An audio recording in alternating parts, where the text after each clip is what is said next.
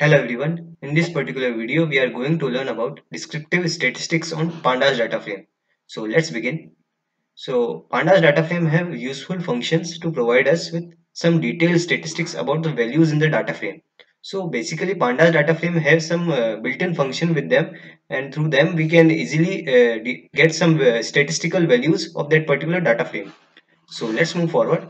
So uh, consider an example uh, here uh, so I have taken describe function. So pandas data frame have describe function here uh, through which we can get values like count, mean, standard deviation, minimum value, maximum value and as well as we can get various quartiles. So what are quartiles? So quartiles are values that divide data into four quarters. So assume that uh, there is a, a, particular number line. So we can just divide that particular um, number line into four parts so uh, that four segments uh, can be called as quartiles. So the plot uh, box plot is ideally used to visualize that particular quartiles. So let me just explain you these quartiles in a more brief manner. So let's move forward. So the first quartile. So we have already assumed that uh, a particular number line can be divided into four parts. So the lowest 25% numbers are the first quartile and after that the next lowest 25% numbers uh, up to the median value are the second quartile. So median value is the basically the middle value. And after that the second highest 25% numbers are third third quartile. And uh, moving forward uh, the highest 25% numbers are the fourth quartile. So this is what uh, a quartile means. So let's move forward. So now let's understand about percentile so the zeroth percentile is uh, the smallest number. The 25th percentile is the end of first quartile. And uh, the 50th percentile is the end of second quartile. And the 7th percentile is the end of third quartile. And the 100th percentile is the largest number. So basically uh, a particular number line can be just uh, uh, divided into these particular segments. So let's move forward. So uh, we will take a particular example to understand what's quartile deviation so uh, let's get uh, uh, started with it. So consider a dataset of following numbers here. 22 12 14 7 8 16 12 6 10 13 so here you can see that there are total 10 numbers and 12 is repetitive here. So it is a, a duplicate value here. So uh, we are going to calculate the quartile deviation here. So let's get started with it. So first of all we are going to arrange data into ascending order and we will remove the duplicate values. So you can just arrange the data into descending or ascending order. It's up to you. So mm, i'm just arranging the data set into ascending order here. And the duplicate value is 12 here so i will just remove it. Uh, so here you can see that i have just arranged the data set into uh, ascending values. So uh, here you can see that now there are nine values here.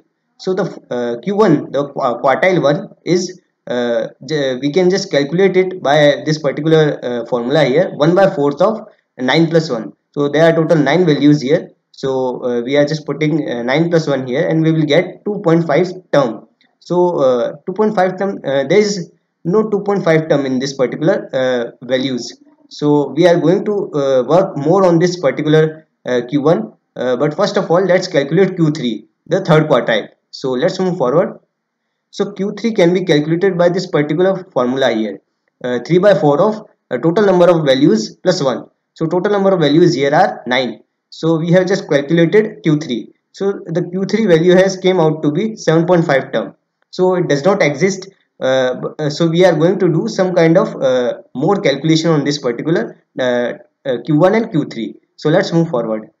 So we are now uh, going to calculate quartile deviation. So first of all we are going to calculate q1 so q1 is difference between second and third term so uh, first we will calculate the difference between second and third term.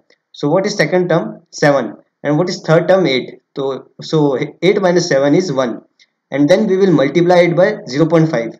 So we will get 0.5. So uh, the Q1 will be we will just add uh, the first uh, first term uh, which is uh, we have already seen the second term which is 7 so 7 will be added with 0.5 so it will be converted into 7.5 so q1 value is 7.5 so after that we will uh, do the same thing for the q3 so we will just uh, take the difference between 7 and 8 term. So we have seen that uh, this is 7.5 term. So uh, we will just uh, calculate the difference between 7th and 8th term. So 7th and 8th term are uh, 16 and 14 respectively.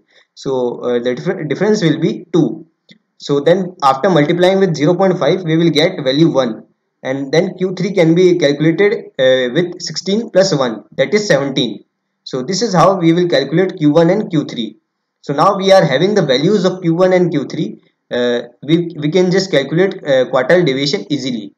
So uh, here you can see that quartile deviation can be calculated by uh, this particular formula q3 minus q1 divided by 2 so q3 is 17 and q1 is 7.5 so, uh, so after just subtracting these values and dividing by 2 we will get 4.75 so this is quartile deviation. So i hope that you would have understood everything up till this point of time. So uh, let's get uh, some coding stuff also with this particular uh, mathematics. So let's get started with the coding section. So here guys we are going to uh, perform some coding. So let's get started with it so first of all uh, we will import the libraries which are required here. So let me just type the code then I will explain it.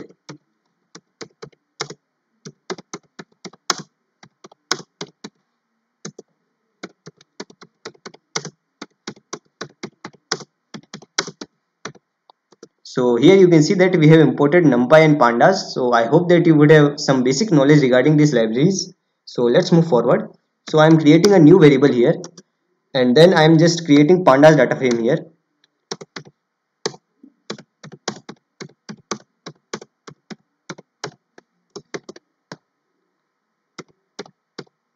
I will just uh, type the code then I will explain it. So don't worry about it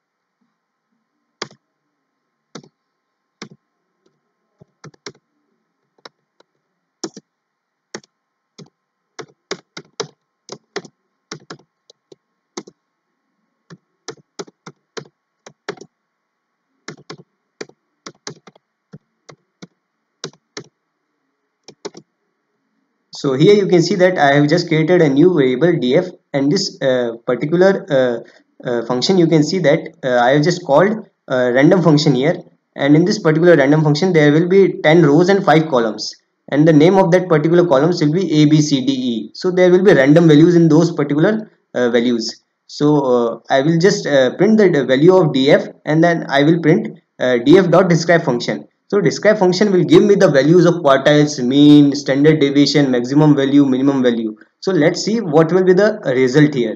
So I'm just running the code here. So here you can see that our code has successfully run here and here you can see that uh, we have just printed df first. So this is the particular data frame which is created here.